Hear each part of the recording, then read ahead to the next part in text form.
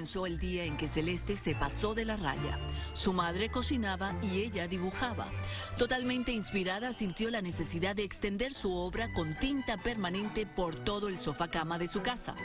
Esta foto captó el instante en que fue sorprendida. La cara de ella era ambivalente. Tenía una cara de algo malice, pero me siento bien. O sea, era una ambivalencia su cara. Y le pregunto, Celeste, ¿qué hiciste? ¿Dibujaste el sofá? Y me dice, mamá, hice el sistema solar. No me entraba en el cuaderno y seguí por el sillón. Y es que con solo tres años de edad, Celeste cautiva a todo aquel que la conoce por su energía, pasión por la pintura y el universo. ¿Cuántas lunas tiene la Tierra? Una. Muy bien. ¿Y cuál es el planeta más grande?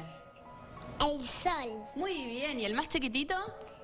La luna y el y, y Mercurio. Muy bien. Desde que tenía un año, Celeste se expresa a través de la pintura. En su mundo multicolor existen pocas fronteras. Su propio cuerpo se ha convertido en un lienzo. Por eso el destino del sofá quedó en manos de Celeste. Su madre decidió seguir el consejo práctico de unos amigos artistas y continuar su obra. Las líneas estaban ahí, no salían con nada y bueno, si te dan limones, hacer limonada. Y entonces lo que hicimos fue eh, dibujarlo completo. Cuenta que desde entonces su inspiración ha aumentado. Celeste empezó a generar muchísima más producción artística. Pintó muchísimos cuadros, se pinta el cuerpo, está todo el día pensando en colores, quiere mezclar colores eh, acrílicos, eh, pinta en tela, pinta cerámica, pinta un florero si lo ve, pinta todo lo que puede pintar Celeste también se ha hecho muy famosa. Su foto se hizo viral en las redes sociales, donde miles han elogiado su creatividad. Así reaccionó cuando se enteró de que se había convertido en toda una celebridad de la Internet. Pero no todo ha sido color rosa. Lo que hizo también despertó una polémica en torno al tema de la disciplina. La madre de Celeste defiende su caso.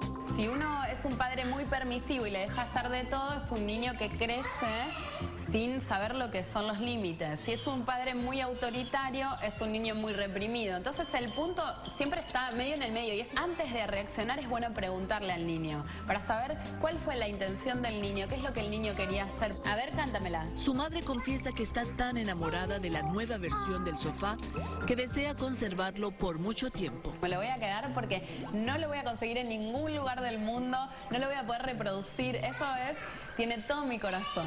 Y aunque el futuro artístico de la niña es incierto, lo que sí sabemos es que pese a los esfuerzos de su madre de iniciarla en la música, ella lo que desea es jugar y por supuesto pintar.